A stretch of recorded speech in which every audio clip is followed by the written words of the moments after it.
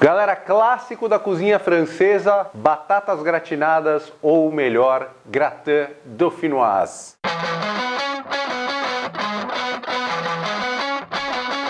Pessoal, esse é um baita clássico da cozinha francesa. Eu vou aproveitar o meu visual tiozão dos anos 80 e fazer um prato aí classicão francês. Então o gratin, o gratin de batatas ou gratin dauphinoise é uma receita classicaça, batata gratinada, acompanhamento de todas as receitas desse nosso Brasil e daquela França maravilhosa. Cara, isso aqui, carne assada, rabada, é, de, de vitela, estinco de cordeiro, osso buco, confit de pato, o que você quiser, o que você puder imaginar, o gratin de batata funciona super bem como acompanhamento. O que, que a gente vai precisar aqui para ele? A gente está usando aqui um quilo e meio de batatas, que deram mais ou menos seis batatas dessa daqui, que é a batata Asterix ou vermelha. Estamos usando aqui também um litro de leite e um litro de creme de leite. Então, metade leite, metade creme de leite. Um dente de alho, noz moscada aqui para temperar. Então, noz moscada, um dente de alho, sal e pimenta do reino a gosto e duas colherzinhas de sopa de manteiga que a gente só vai usar no final. Então, primeira coisa aqui, panela para aquecer aqui, eu vou colocar o fogo mais ou menos alto e a gente vai colocar aqui a mistura de leite, o litrão aqui de leite com o creme de leite. Enquanto essa parada aqui começa a esquentar, a gente pega o dente de alho, só amassa o dente de alho e o dente de alho aqui amassado com casca e tudo, vem aqui para essa parada. Ele vai infusionar a nossa mistura de leite e creme de leite. Enquanto isso daqui também já está começando a, querer levantar fervura, a gente vem e tempera com a noz moscada.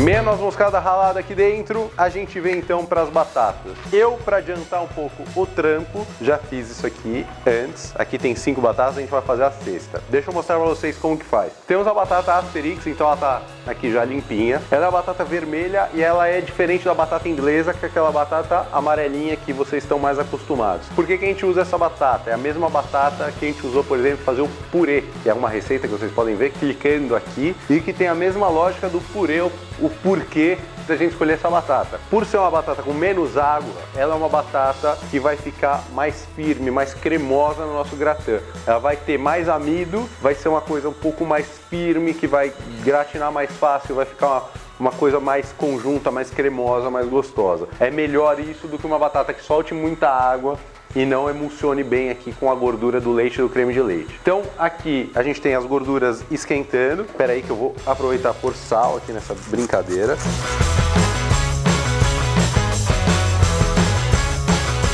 E a nossa batata vai cozinhar nessa brincadeira aqui. Então a gente descasca a batata, faquinha de legumes. Você pode fazer isso com um descascador, claro, mas é importante você começar a pegar intimidade com as facas e com as paradinhas aqui para descascar manualmente. Então você vem fazendo um arco na batata, ó.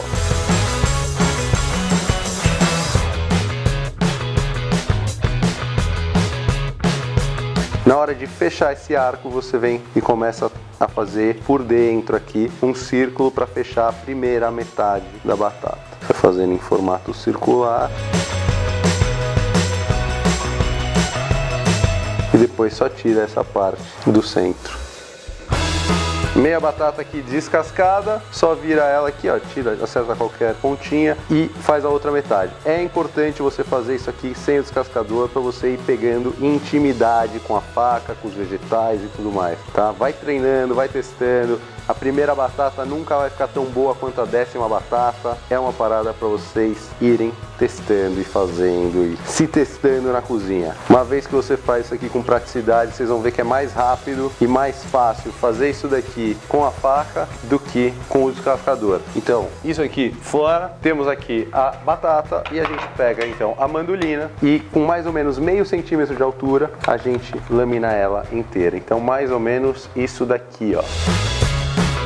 Por que, que é importante essa altura? Se ela for muito fina, ela vira um purê. Se ela for muito grossa, ela não vai cozinhar legal. Você lamina tudo, cuidado. Quando for chegando perto aqui da lâmina, segura com a pontinha da unha. Aproveita aqui então todos pedaços da batata, usando bem a mandolina. E temos aqui então toda a nossa batata em gratin. Se você fizer isso aqui rápido, ou se você contar com a ajuda da tua mulher, do teu amigo, do teu filho, não, teu filho para fazer, usar a mandolina não, mas a tua mulher, teus amigos aí, quem for provar da tua comida, te ajudar nesse processo, você não precisa passar isso aqui por água. Você não precisa pôr a batata na água para ela não oxidar. Se você fizer o processo rápido, você pode vir direto com ela aqui no creme de leite. Então o creme de leite vai começar a ferver agora, creme de leite com leite, com temperos, e a gente vai colocar a nossa batata aqui toda dentro dessa mistura. Sempre lembrando para vocês aproveitarem esse momento para já darem o like aqui no vídeo, vocês vão continuar recebendo todas as notificações do canal. Se inscrevam, fiquem por dentro, sigam a gente em todas as redes sociais. Batata aqui para dentro, importante falar, a gente está fazendo uma receita clássica de batata gratinada. Com certeza tem outras receitas que vocês já viram e que podem reproduzir, que levam queijo, que levam gema de ovo.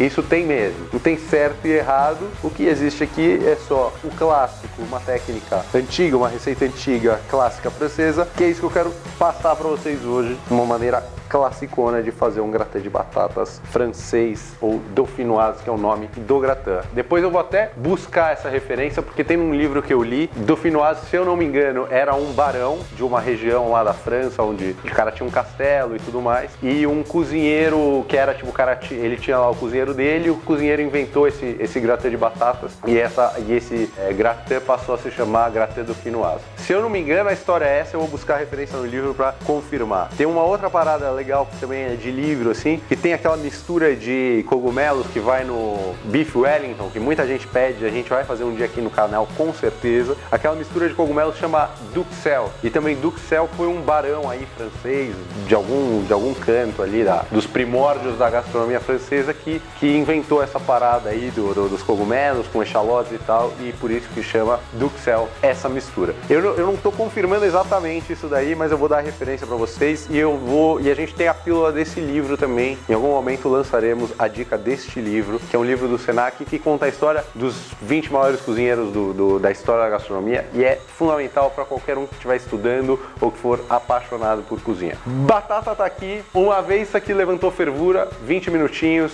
e aí a gente já volta. 20 minutos se passaram, coisa importante, tá? Controle o fogo. É, é importante que fique sempre fervendo, mas cuidado que quando você ferve leite, creme de leite, essas coisas, a tendência é que isso suba. E aí cuidado cuidado, porque, cara, se transbordar da panela para limpar é um saco. Então você vai controlando isso aqui, 20 minutinhos, já tá cozido. Vou pegar uma assadeira, vou transferir isso daqui, vou tirando as batatas aqui.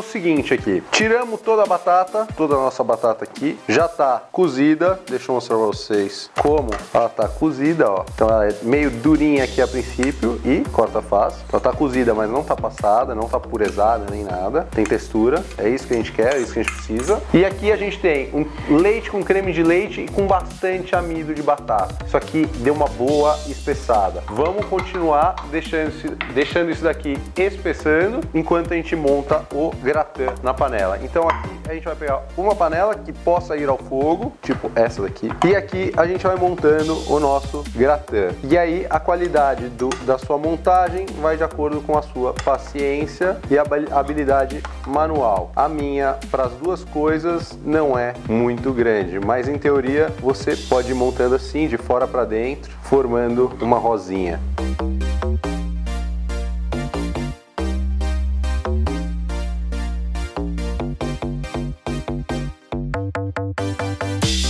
Fizemos a primeira camada, a gente vem com uma concha aqui de, desse mix do leite, creme de leite com o próprio amido da batata e todos os nossos temperos e coloca por cima dessa primeira camada. Isso aqui segue reduzindo e a gente vai montando aqui, vou montar mais umas quatro camadinhas.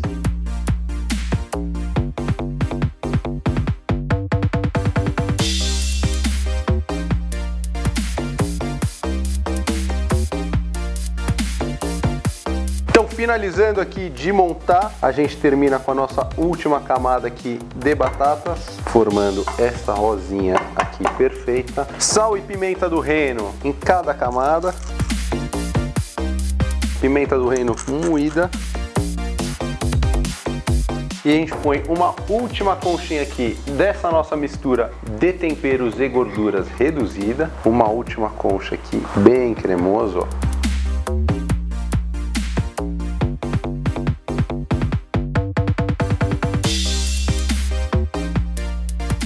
Para finalizar e para ajudar na parte de gratinar, a gente vem com uns dadinhos de manteiga. Se você for aqueles maluco loucão que quer desfazer a receita e fazer uma receita um pouco pior ainda do que essa de gorda, pode meter queijo emmental, pode meter queijo parmesão aqui na hora de gratinar. A clássica aqui leva só uns dadinhos de manteiga por cima para ajudar a gratinar. Isso daqui vai pro forno, forno o máximo que você tiver até gratinar. Dá o quê? Uns 10 minutinhos no máximo aqui até gratinar. Volto. Voltamos aqui depois de 10 minutinhos de fogo, bombando, bombando naquela, naquela função grill, só para gratinar o máximo de potência que você pode. Toda gratinada aqui, nossa batata dauphinoise, gratin dauphinoise. E é isso, o melhor acompanhamento classicaço da cozinha francesa. Pro que você precisar, ela vai ser sua melhor amiga. Valeu, até a próxima receita.